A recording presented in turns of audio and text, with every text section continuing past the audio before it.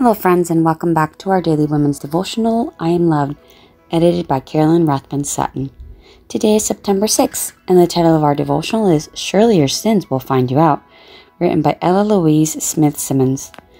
Our Bible verse is found in Ezekiel chapter 36, verse 27. I will put my spirit within you and cause you to walk in my statutes, and you will keep my judgments and do them. Ella Louise writes, It all started so innocently. First, we had to travel overseas beginning during Sabbath hours. Then, while sitting at the gate awaiting our flight, I pulled up Amazon.com on my cell phone to read the preview of a book I had planned to use for sermon illustrations. It doesn't get more Sabbath appropriate than that. But then something happened. As I attempted to open the book review window, somehow my finger slipped and hit the express purchase button, making a transaction. While I felt uneasy it being Sabbath, I was not truly alarmed because my plan was to purchase this book at some point in the near future anyway.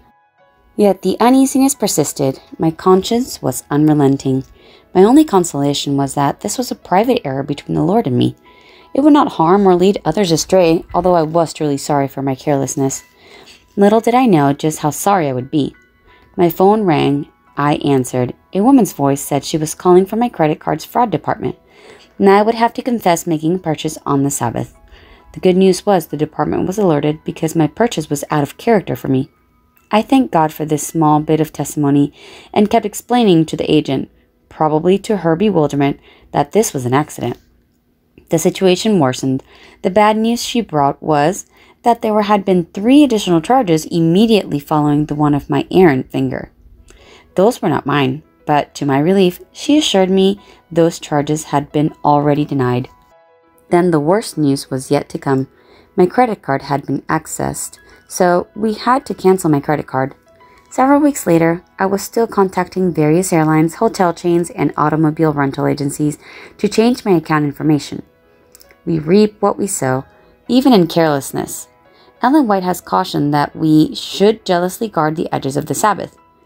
Oh, had I done so. Let us pray constantly that, by the loving grace of our Heavenly Father, we will be filled with the Holy Spirit and walk in His statutes just naturally. Ella Louise Smith Simmons is a vice president at the General Conference of Seventh day Adventists in Silver Spring, Maryland, United States of America. She is the first female to hold this position. A veteran educator, she has served as provost, academic vice president, and professor in church and public sector universities.